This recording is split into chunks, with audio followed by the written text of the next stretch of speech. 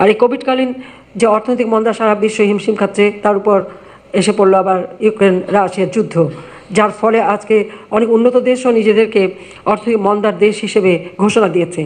আমাদের যাতে সেটা করতে না হয়, সেই জন্যই আমরা কৃচ্ছতা সাধনের কথা বলেছি। আমাদের অপ্রয়োজনীয় খরচ আমরা কমিয়ে দিয়েছি এবং সেটা ব্যাপারেও আপনারা সচেতন থাকবেন।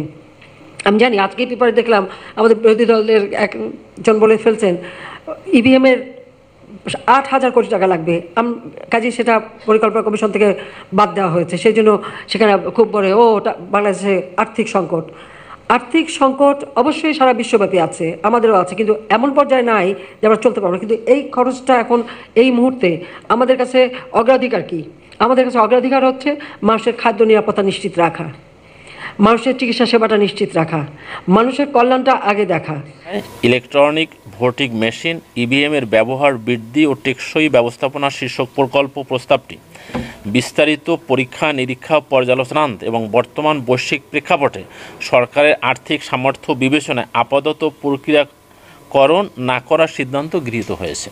দর্শক শ্রোতা দুই হাজার চব্বিশ সালে নির্বাচন জাতীয় যে নির্বাচন আসতেছে সেই নির্বাচন নাকি এবার এবিএন মেশিনে হবে না, সেটা হবে সম্পূর্ণ ব্যালটে। এরকমই যে সরাসরি ঘোষণা দিলেন মাননীয় প্রধানমন্ত্রী, আপনাদেরকে বিস্তারিত দেখাবো সেই ভিডিওটি। অন্যদিকে এবার নির্বাচন কমিশনার বলতেছেন যে যে এখন পর্যন্ত পুরোপুরি যে বাদ করা, বাদ করে দেওয়া হবে এরকম কোনো প্রস্তাব নয়, সেটা পরবর্তীতে দেখা যাবে। আসলে ঘটনাটা কোনটা? ভিত্তিহীন। দর্শক শ্রোতা, মাননীয় প্রধানমন্ত্রী এবার সরাসরি যা ঘোষণা দিলেন, আমরা সেই ভিডিওটি স্ক্রিনে দেখে আসি। সম্পূর্ণ ভিডিওটি দেখার অনুরোধ রেখেই শুরু করছি আজকের ভিডিও। দর্শক শ্রোতা, এরকমের প্রত্যেক মুহূর্তের আপডেট নিউজ পেতে অবশ্যই আমাদের চ্যানেলটিকে সাবস্ক্রাইব করে পাশে রাখা বেল আইকনটি ক্লিক করে দিবেন, তাহলে প্রত্যেক মুহূর্তের আপডেট নিউজ পেয়ে যাবেন সবার আগে। দর্শক কথা না বাড়িয়ে প্রথমে মাননীয় প্রধানমন্ত্রী কি বলতেছেন? সেই ভিডিওটি আমরা স্ক্রিনে দেখে আসি। যেখানে সেখানে যত্রতত্র শুধুমাত্র একটা পয়সা আর ইসের জন্য প্রকল্প নেওয়া এটা আমি পছন্দ করি না। এবং প্রকল্পের ক্ষেত্রে যেটা আমাদের এখনই প্রয়োজন, আমি সেইগুলি এখন করতে চাই। আর এই কোভিডকালীন যে অর্থনৈতিক মন্দা সারা বিশ্ব হিমশিম খাচ্ছে, তার উপর এসে পড়ল আবার ইউক্রেন রাশিয়ার যুদ্ধ। যার ফলে আজকে অনেক উন্নত দেশও নিজেদেরকে অর্থনৈতিক মন্দার দেশ হিসেবে ঘোষণা দিয়েছে। আমাদের যাতে সেটা করতে না হয় সেই জন্যই আমরা কৃচ্ছতা সাধনের কথা বলেছি। আমাদের অপ্রয়োজনীয় খরচ আমরা কমিয়ে দিয়েছি। এবং সেটা ব্যাপারেও আপনারা সচেতন থাকবেন। আমি জানি, আজকেই পেপারে দেখলাম আমাদের বিরোধী দলের একজন বলে ফেলছেন ইভিএমের আট হাজার কোটি টাকা লাগবে। আম, কাজে সেটা পরিকল্পনা কমিশন থেকে বাদ দেওয়া হয়েছে। সেই জন্য সেখানে খুব বড়, ও বাংলাদেশে আর্থিক সংকট। আর্থিক সংকট অবশ্যই সারা বিশ্বব্যাপী আছে, আমাদেরও আছে, কিন্তু এমন পর্যায়ে নাই যে আমরা চলতে পারব না। কিন্তু এই খরচটা এখন এই মুহূর্তে আমাদের কাছে অগ্রাধিকার কি? আমাদের কাছে অগ্রাধিকার হচ্ছে মানুষের খাদ্য নিরাপত্তা নিশ্চিত রাখা। মানুষের চিকিৎসা সেবাটা নিশ্চিত রাখা মানুষের কল্যাণটা আগে দেখা সেখানেই যত টাকা লাগবে আমার কৃষি উৎপাদন যাতে বাড়ে, আমি সেদিন তার জন্য যা খরচ লাগে, আমি সেটা করব। মানুষের চিকিৎসা ক্ষেত্রে যা লাগে আমরা করব।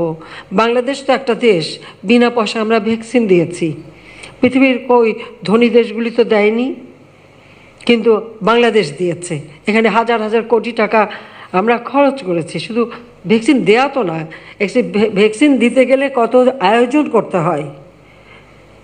একটা জায়গা থেকে ভ্যাকসিন নিতে গেলে তার জন্য ফ্রিজার দরকার, রাখার জন্য দরকার, যেখানে দেবে সেটাকে এয়ার কন্ডিশন করে সেই জায়গা তৈরি করা দরকার, দেবার জন্য যে স্বাস্থ্যকর্মী দরকার ট্রেনিং প্রাপ্ত কর্মী বা ডাক্তারদের আলাদাভাবে রেখে প্রতিদিন তাদের জন্য যে আলাদা খরচ করে যারা করোনার চিকিৎসা দিয়েছে, সেই চিকিৎসার ব্যবস্থা সেটাও আমরা করেছি। আমরা সমস্ত হাসপাতালে বেড বাড়িয়ে দিয়েছি, নতুন নতুন হাসপাতাল তাৎক্ষণিকভাবে তৈরি করে দিয়েছি এবং ডাক্তার, নার্স, স্বাস্থ্যকর্মী আমরা নিয়োগ দিয়ে তাদের সুরক্ষার দিকে লক্ষ্য রাখা এবং যার জন্য পানির মতো টাকা খরচ হয়েছে। আমরা কিন্তু সেইটা খরচ করেছি। কিন্তু যেগুলো আমার এক্ষুনি প্রয়োজন নাই, সেগুলো আমরা কেন করতে যাব? আমাদের তো খরচ করতে হবে আগে মানুষের মানুষের যেটা চাহিদা পূরণ করা, মানুষের খাদ্য চাহিদা চিকিৎসা চাহিদা, শিক্ষা চাহিদা, এগুলিও আগে রক্ষা করা। আমরা সেটাই করে যাচ্ছি। কাজে আমরা আমরা মনে করি সে সেভাবে আমাদের কাজ করতে হবে। প্রত্যেক এলাকায় আমি একটু অনুরোধ করব যে, প্রতিটি আমাদের কিন্তু বাংলাদেশটা একটা বৈচিত্র্যময় দেশ। এক একটা এলাকায় এক একটা জিনিস আমাদের উৎপাদন হয়। প্রতিটি এলাকায় যে উৎপাদনগুলি হচ্ছে, কোন জিনিসটা আমাদের বেশি উৎপাদন হয়? আর আমি কৃষি উৎপাদনের উপরেই বেশি এখন গুরুত্ব দিচ্ছি, এই জন্য যে বিশ্বব্যাপী যে খাদ্য মন্দা দেখা দিয়েছে, তার ধাক্কা যেন আমাদের উপর না পড়ে। আর কিছু কিছু জিনিস আমাদের আমাদের আমদানি নির্ভর। তা আমরা কেন গতকাল আমরা আমদানি নির্ভর থাকব? যতটুকু যা পারি আমরা নিজে উৎপাদন করব। আমরা তো পারি। এক সময় ছিল কোরবানির গরু, ওই ভারত থেকে কোরবানি না, গরু না আসলে আমাদের কোরবানিই হবে না। আর আমাদের সেই নির- পরনির্ভরতা নাই। ঠিক এভাবে আমাদের খাদ্য আমরা উৎপাদন করতে পারছি যাতে করে আমরা আমাদের চাহিদাটা মেটাতে পারি। ঠিক সেইভাবে হঠাৎ পেঁয়াজ আমদানি বন্ধ হয়ে গেল, আমাদের পেঁয়াজের জন্য হাহাকার চারিদিকে অনেক টাকা খরচ করে পেঁয়াজ আনতে হলো। রোজার সময় পেঁয়াজ না খেলে আর বেগুনি না খেলে হবেই না, ইত্যাদি ইত্যাদি। এখন আমরা পেঁয়াজ উৎপাদন শুরু করে। সাথে সাথে আমাদের এখন যেটা করতে হবে, প্রত্যেকটা এলাকায়, এটা আমার মনে হয় জেলা প্রশাসকরা একটু উদ্যোগ নেবেন। আমার যে এলাকায় যে পণ্য উৎপাদন হয়, এটা আমি খাদ্য মন্ত্রণালয়কে ইতিমধ্যে নির্দেশ দিয়েছি, কৃষি মন্ত্রণালয়কেও আমি বলেছি, এবং কৃষি মন্ত্রণালয়কে যে, আমি বিশেষ করে নেদারল্যান্ডে এবং বিভিন্ন জায়গায় তারা যেভাবে এই যে শাক, সবজি, ফল, মূল সেগুলি সংরক্ষণ করে, চিলিং সিস্টেম সব কিছু কিন্তু ফ্রিজারে থাকে না। এখানে একটু ঠান্ডা টেম্পারেচার যেটা হিসাব মতো এক একটা জিনিসের জন্য এক এক রকম হিসাব থাকে, সেই ধরনের চিলিং চেম্বার করে দেওয়া, তার ব্যবস্থা আমরা নিতে চাচ্ছি। আমরা বিভাগীয় পর্যায়ে প্রথমে করতে পারি, পরবর্তীতে আমরা জেলা পর্যায়ে করতে পারি যে আমাদের পণ্যগুলি যখন উৎপাদন হবে, সেই উৎপাদিত পণ্যগুলি সংরক্ষণ করা, সেগুলি বাজারজাত করা এবং আমরা যে একশোটা অর্থনৈতিক অঞ্চল করছি বা বিসিক শিল্পনগরী করছি, সে সমস্ত জায়গায় আমাদের সাথে সাথে আমাদের এই খাদ্য প্রক্রিয়াজাত শিল্প গড়ে তোলা। সে বিসিক শিল্পনগরী হোক বা আমাদের একশোটা অর্থনৈতিক অঞ্চল হোক, এসব জায়গায় আমাদের কৃষিপণ্য যা উৎপাদন হয় তার উপর ভিত্তি করেই আমাদের শিল্প যাতে গড়ে ওঠে। হ্যাঁ বিদেশি পণ্য আসবে, সাথে সাথে এগুলো আমাদের দিকে বিশেষভাবে দৃষ্টি দিতে হবে।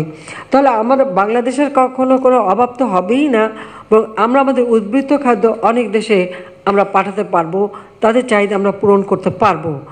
সেই ক্ষেত্রে আমরা আরও কতগুলি পদক্ষেপ নেব, আমি সেখানে আসছি। যেমন আমাদের পরিবহনের জন্য।